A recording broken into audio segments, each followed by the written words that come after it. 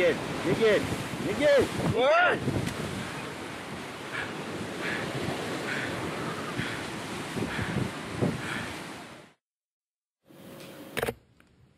Hello world, my name is Miguel Francis. I'm a film school graduate from Los Angeles, California. And I'm about to go to this little hotspot right here called Crimea. Now, it was a part of Ukraine, this little country's territory, up until about March 2014, when this huge piece of land called the Russian Federation decided to go in there with its military, occupy this territory, and then annex it from Ukraine. Now, we all know this really well according to our mainstream media, but alternative media out there seems to have this point of view that everything was done by the book and Crimeans themselves decided to vote for this referendum and join Russia. I'm taking this a bit personally because my great grandmother is from Ukraine. And for my first film project, and I definitely owe this to her, I decided to risk my life, go in there, and find out the truth behind Crimea. In about the three minute section here, watch what happens. Hey people, so here we are on the streets of Sevastopol, and there's this huge line over here, and I'm, you know, I wonder what it's for. Hey, can you ask, what's this line about? Это очередь на получение медицинской страховки. Наставала историческая справедливость. И Крым стал российским. И все мы теперь россияне. Мы получим бесплатную медицинскую страховку. Товарищи, идет американская съемка. Нас идет пропаганда в Америке о том, что нас стреляют, нас убивают. The states are spreading, there's a lot of propaganda that there's killing here. They're just killing the people. Notice how many Russian passports.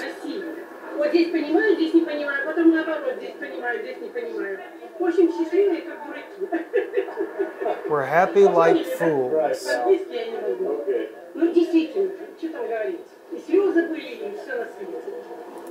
You know, it's just very interesting to actually see, to see someone, especially from America like ourselves, that are taking the time to try to show the truth about Crimea. What a lot of people do not realize is that Crimea, even back during the time of the Tsars, Tsar Alexander, uh, from the 1800s, even back in the 1700s, according to historians, Crimea literally was part of the Russian Empire. It's stated by Russia, by histori- excuse me, by historical document, uh, do, uh, documentaries the Russian Empire during the time of Alexander the Great, for example, was from the Pacific Ocean all the way to Crimea. That's exactly the way it's worded. So it's kind of odd to us to find out that it's everybody thinks that Crimea belongs to Ukraine. In fact, Crimea was still a part of Russia even during the Soviet Union. It wasn't until 1954 that the Russian Federation themselves actually signed over the administrative delegation of Crimea to Ukraine. But then Ukraine was part of the Soviet Union. They felt like they could trust them with the delegation of the activities that go on there. But it wasn't actually handed over as this is our new empire, no. And even at the collapse of the Soviet Union, when Crimea actually becomes its own state, Russia continues to keep their military there with up to 20 to 25,000 personnel.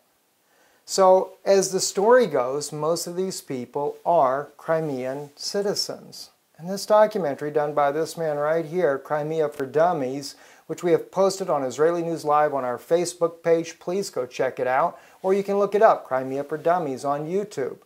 Watch it. It will definitely educate you from an American point of view, trying to get rid of the propaganda. But of course, as you guys know, it's one of the reasons why we want to deal with the biblical side as well of what's happening. I think we're seeing or fixing to see very soon the pale horse rider of Revelation ride forth.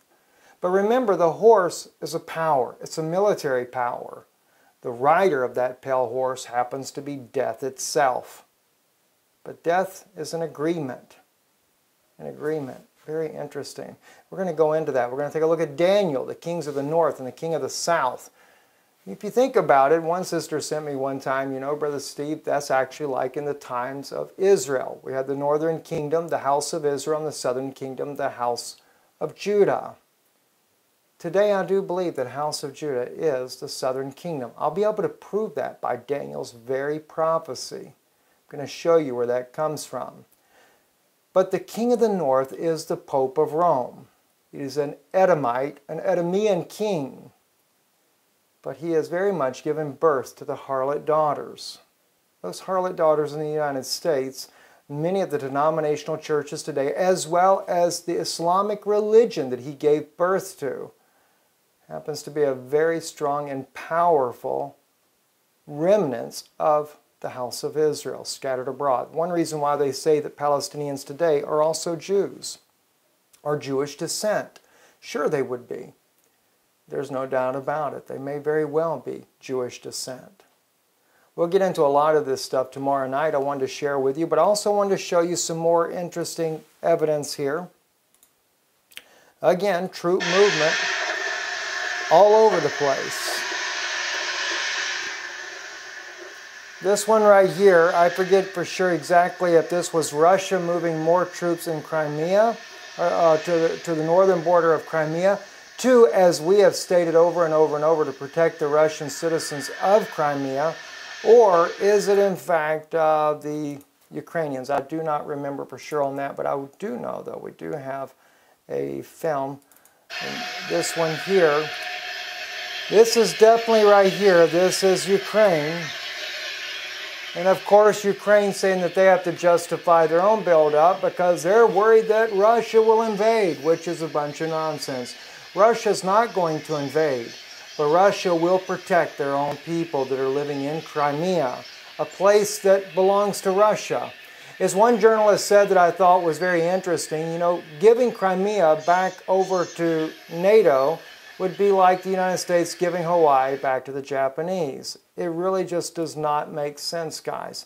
And no, it doesn't. It doesn't make sense at all. Let me share with you some other things here. This is right here on Twitter here.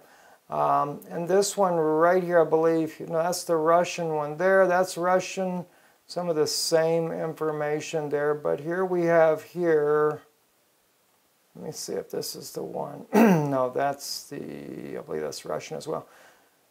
This may be it right here. This here is Ukraine. Again, a huge number of their own uh, troops, armored personnel, carriers, etc., loaded with people on these uh, these things here, headed down towards uh, the border there. With um, they don't show, they don't like show very long clips of them. I guess I don't want anybody to know what they're doing. But anyway, they're headed down there to the border of Crimea as well to confront Russia. There have been skirmishes. We have been seeing this over and over and over. It has been reported on the Ukraine's president website, as they call it, that there has been gunfire battles between Russian Federation soldiers in Crimea and that of the Ukrainians uh, going down to the border there. But again, tomorrow we will actually bring to you, we're going to bring to you some very interesting documentation you might want to check out uh, John B. Wells' Caravan to Midnight. Yesterday, we were on there, uh, I think on Central Time is 10 p.m. Central Time. Check it out in his archives there on Caravan to Midnight. Uh, John B. Wells had us on his program there. We went in depth as well. Brand new program on Hebrew Nation Radio called Epicenter. I'm not sure exactly when it's going to air, but we aired there with uh, Sister Bonnie.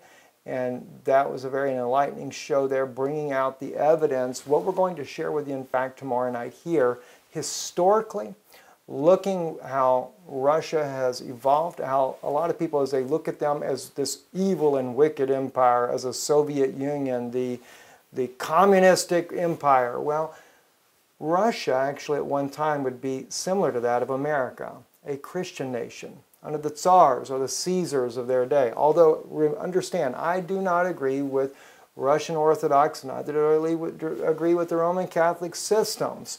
I don't say that they don't both have some truth in what they believe because they both believe that Jesus Christ to be the Messiah. I can agree with them on that on both sides. But it's not that I side with one faith or the other, but it was very much like a Christian nation.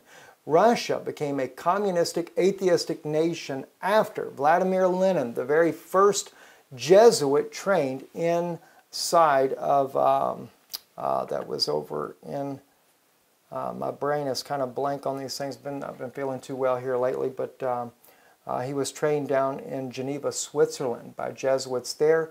Uh, he was also funded uh, by the Federal Reserve to overthrow the Russian government there. They overthrew the czars. They came in and they set up the atheistic empire. Even uh, also, Stalin was another Jesuit trained um, uh, Soviet person there. And what was really interesting, they made a major war against the Eastern Orthodox religion. We'll get into all that tomorrow. But uh, there was one religion that flourished, even though it was an atheistic country. Imagine that. They did switch it over to the Gregorian calendar. Hmm, that ought to be interesting to think about, yeah. Not to mention, only the Roman Catholic Church was the permitted religion in the entire country. The people that were Russian Orthodox or Eastern Orthodox were imprisoned and everything else you could imagine. So this Soviet atheistic communistic government was not inspired by the true Russia that was before that. This was where Jesuits had infiltrated the country, overthrew it, very similar to what they're trying to do in America today. Just remember, Bernie Sanders, the socialist that the Vatican so much love, socialism breeds only communism. And communism is something that the Vatican does. This is why we see a major shift in the churches of America joining back up with the Catholic Church. As long as you do that, you don't have to worry about your communistic regime. Otherwise, it'll become the state religion just like it was in Russia. So when people think that Vladimir Putin is only trying to bring back the Russian people to the former Soviet wicked empire, no, I think he's more like Alexander the Great that probably thinks he's similar to the king of the north in Daniel's prophecy to go defeat the king of the south. The only problem is there's a little mix up in that. I think that that king of the north really is the Pope of Rome, and the king of the south may very well be Israel. We'll look into that more tomorrow night. I'm Stephen Ben-Nun. You're watching Israeli News Live. Shalom.